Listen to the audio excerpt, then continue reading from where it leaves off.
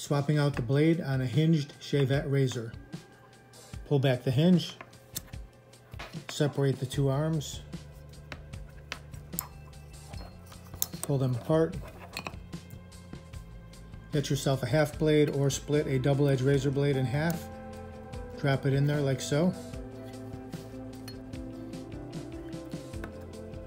Pick up on the top arm, lay it over, squeeze down, close the hinge.